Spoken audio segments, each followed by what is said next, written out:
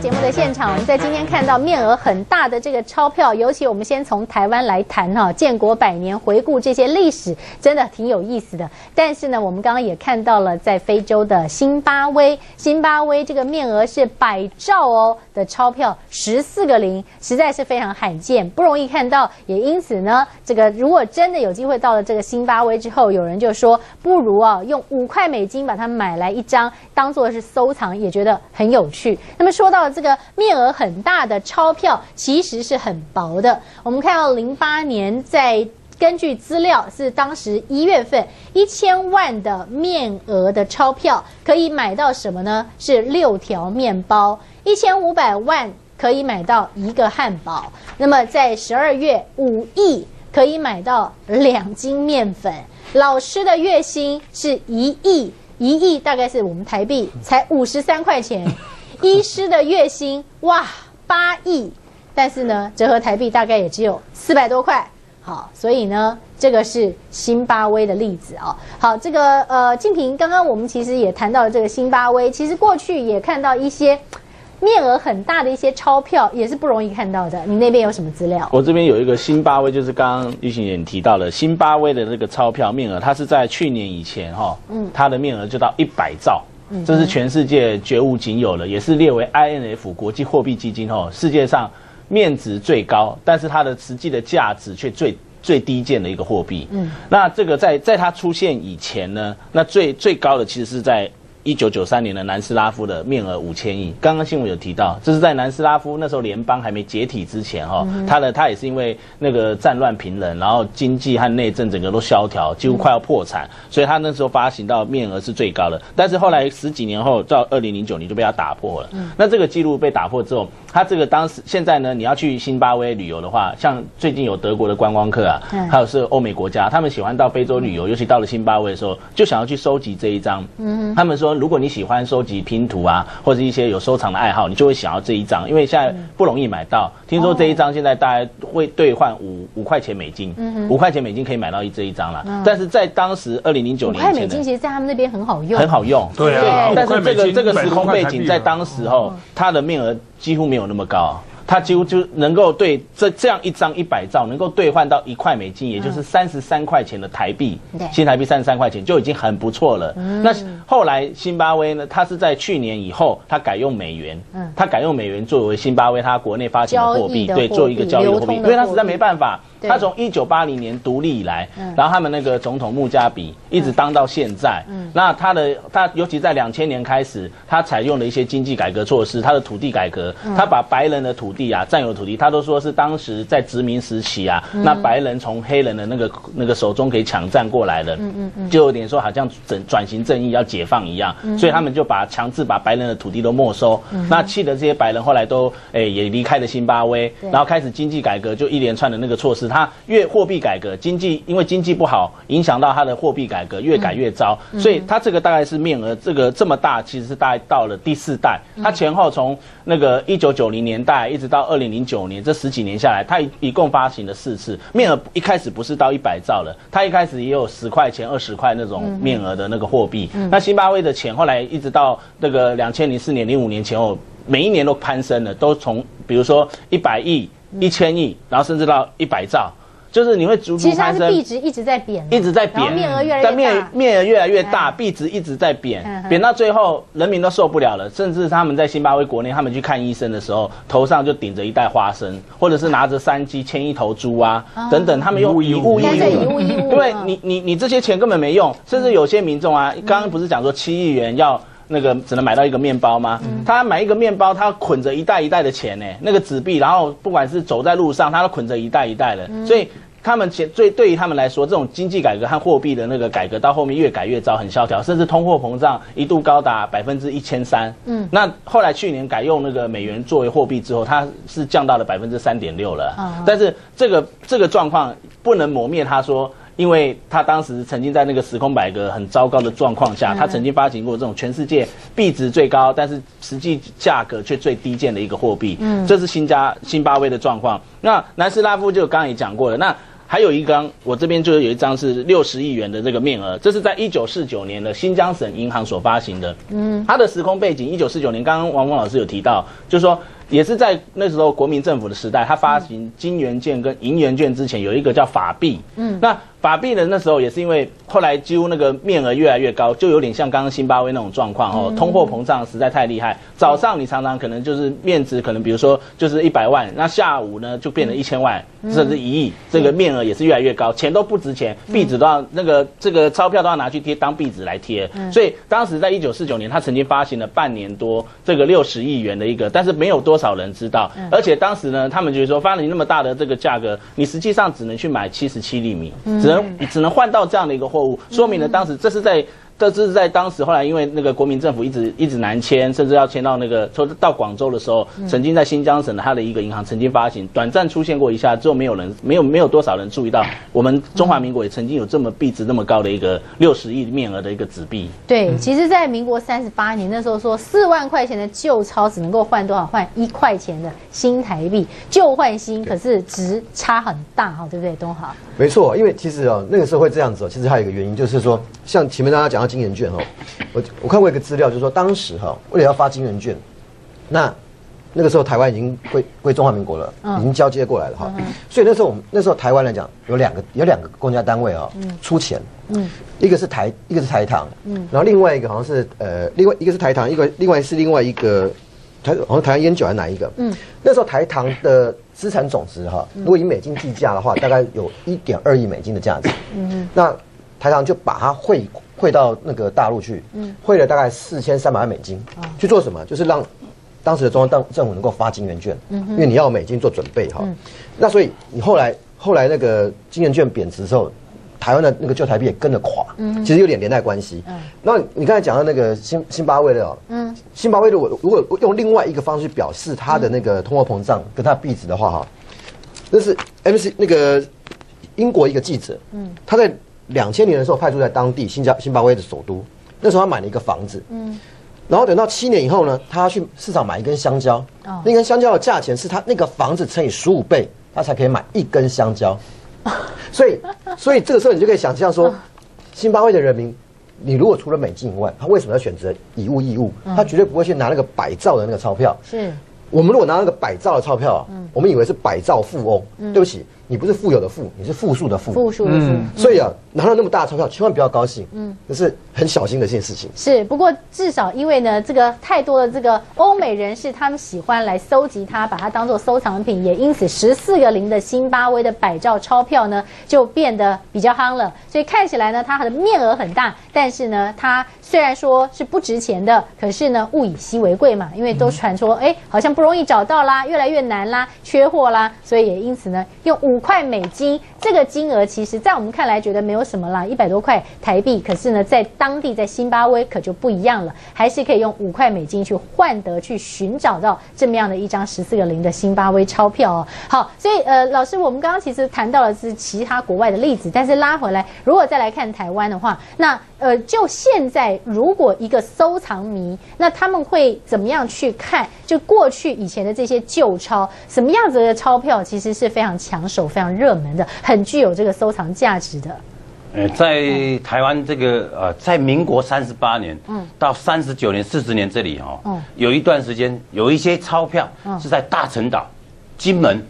啊，还有马祖现用的。啊，那个币值在五十块跟一百块，那个是现在是最值钱的啊，一张可能都几万块。哦，啊，那时候是等于是没在台湾本岛发行的，啊，那时候等于是占地用的。不过我们回顾在中华民国这个建国一百年以来啊，嗯，它的整个钞票一个历史，基本上我给大各位观众一个基本的一个概念，嗯，基本上呃，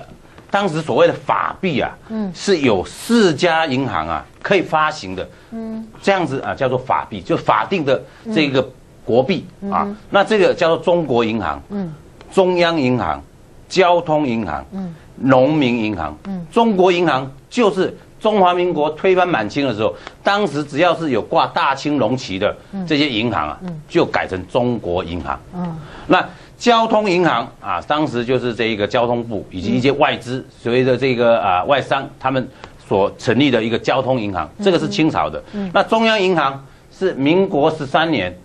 孙中山叫这一个啊国民在南方政府啊，他们所成立的一个银行，到了民国十七年统一的时候才成立所谓中央银行，后来在民国二十年，就设定了一个法币政策，那民国二十四年又加了农民银行，所以它变成是一个法币的一个基础，啊，这这个是这样子让的。那当时为了一个方便于缴税，啊，现在我们缴什么土地税啦、增值税什么，又发明了一个所谓叫关金券。哦，啊，这负责缴券的啊，这像我这里，它关关金券的面额都蛮大的，像这一张啊是五千块，哦，哦，还有一万块的这样子的一个关金券，哦，那这个部分啊，就是啊，也是抵代有一个币值的一个功用，嗯，那后来到民国啊三十七年的时候啊，整个要调整这样的法币，所以发行了金元券，嗯，啊，用金本位啊来做，那当时啊可以兑换的。一块的金圆券兑换了三百万的法币，其实就是就开始了混乱的开始了啊！这个当时的这个呃，一九四五年到四九年这些这个中华民国国民，数学头脑都很好，每天算这个钱算的有点混了。那你看当时的这个旧台币可以换金圆券啊，后来又在台湾这时候呃收复这个到中华民国的怀抱里面发行了金。旧台币，当时他跟金金元券有兑换，是一千六百三十五啊法币，可以一块钱的旧台币可以换一千三百六百三十五块的法币。那新台币后来又改制，为了要跟这一个所谓的金元券法币那边脱钩，就把旧台币啊改成了新台币，所以一万块的这一个啊新台币可以换四万块的旧台币，是，这是等于当时啊。在这个从这个一九三零年代到一九五零年代，整个台湾币值跟中华民国币值之间啊一个基本的一个关系。那我在这里有拿到一张这个啊所谓的交通银行发行的啊这一个有清朝龙旗啊大龙旗是这一个清朝当时的这一个国旗，嗯，当时发行的五块钱。是。啊这个是宣统元年，嗯，是国中孙中山这个国民革命啊前两年。是。那。这里又有一个所谓的中华民国金币啊，这个是中华革命党啊，当时这个民国二年，就民孙中山其实当临时大总统只当了四十七天，哦，那就被袁世凯做第二任的这个临时大总统，后来还暗杀了宋教仁，做了很多狗屁倒灶的事情，还称帝啊，孙中山就主持中华革命党，当时跟台湾民主国一样，为了筹措这些资这个啊军费啊，所以是发行了。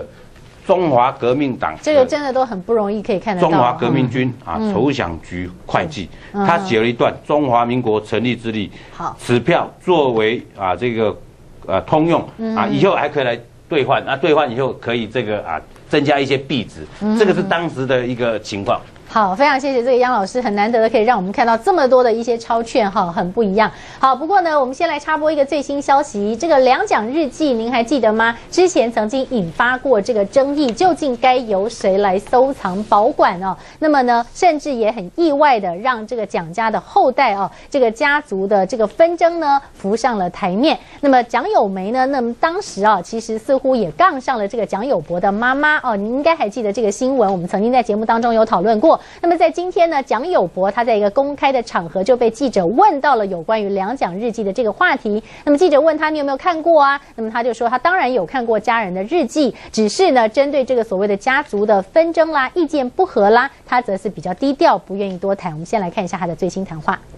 我之前两蒋日记，这个蒋友梅好像对妈妈这边有一些维持。有你第一天认识我，你戴个口罩，我一样认得出你。那可以可以帮我们讲一下吗？就是嗯，这个没有立场，没有立场。妈妈有跟你谈过这个事，你可以去问他。嗯，那你自己有看过这个日记的内容吗？你有没有看过你爸的日记？如果对啊家人的日记当然有看过。嗯所以公开如果说让大家来看的话，你觉得这是一个不错的做法？这不是我可以决定的事情。好，这是蒋家的后代蒋友柏刚看到他对于这个事情做的最新的回应。好，上次王峰老师我们就在节目当中有谈过这个话题，对不对？是。好，那事实上你对于今天蒋友柏这个回答记者问题的表现怎么样？觉得如何？这个不可否认的啊，现在我们看这个友柏啊，他在面对公众的时候啊，实在是蒋家哈最亮眼的一颗明星啊。但是呢，他这两年的这个蒋友柏跟过去啊有一个明显的不同，他更沉稳、更老练。你看他对这个记者应付记者的这些。些问题啊，非常尖锐，或者甚至于绵里藏针的一些问话，他都能够四两拨千斤啊，然后这个轻呃这等于就是呃轻轻的把他打回去哦。他现在看起来好像脾气更好了。对，那我认为可能是他的这个母亲哈给他若干的这一个呃教诲有关系啊。是不过总的来看，这个日记这件事啊，不管过去呃。呃，这些时日啊，包括有媒做的一些反应啊，但是我总的来看哈，我觉得方志怡女士啊，对于这个两蒋日记的这个处理啊，她的大原则是正确的，因为我们知道，在若干年以来啊，嗯，呃，这一个很多社会上还有这个大陆啊，两岸三地有很多人对这个两蒋啊，都有一些误解，或者是有一些偏见，那就是戴戴着偏光镜，或者是用万花筒，或者是戴着有色眼镜去看这个两蒋，我认为。这个日记的公布啊，有助有助于，就是说，我们用一个比较平常心，或者说是比较回归到现实面啊，回归到一个事实的一个基础上哈，去评估两蒋啊。这个我觉得方志怡他对蒋家最大的贡献啊，最大的贡献就是说把它摊在阳光下，啊，摊在阳光下。当然有些人质疑说，哎，你这个有些地方好像被杠掉了，这怎么回事啊？那这个我觉得他也讲得很好，他说。有哪一家可以把这个私密百分之百的摊在阳光下？谁谁愿意？没有一个人愿意。可是蒋家的人愿意，那可见就是说没有什么见不得人的事。那至于杠掉的，我的看法，蒋介石他可能今天的把昨天的杠掉了，对不对？没有谁敢去把蒋介石的日记杠掉的，没有谁敢做这种事情的啊。是。那所以这个是非常，我觉得非常重要。还有就是我看到蒋友柏啊，嗯。我就回想起这个金国先生在晚年的时候啊，他面对外国媒体的时候，他宣布啊，蒋家的家族的人不会再去参选总统。嗯，那这个也可以说是把蒋家的后代的路给讲死了。是，就是规范了，规范这个就是说你不能去参选总统。那换言之，如果更广义一点解释，甚至于连参政都会受到一些影响的情况之下，你想想看，蒋家第二代、第三代、第四代，他们的路还有什么？所以蒋友柏，蒋友柏，我觉得他是走的一条不得不的路啊。大家可能会觉得他是一个怎么讲，就是红顶商人，然后呃，两岸三地都好像知名度都很高，呃，甚至于大陆写了一本书仿照他的名字，他都告，然后大家好像对他投以会投以一个比较异样的眼光。但是我是觉得用一个平常心来看，嗯，他除了走这条路，他还能走什么路？你总不能叫他不要走路啊。但他倒是走了对，因为他也不能当官。他也不能当公务员他他如果当个公务员如果他今天升了科长人家说你看就是因为蒋家所以他才会升科长嗯对不对？所以他去做现在的事情我认为他是非常聪明非常恰当的。是。好休息一会进广告马上回来。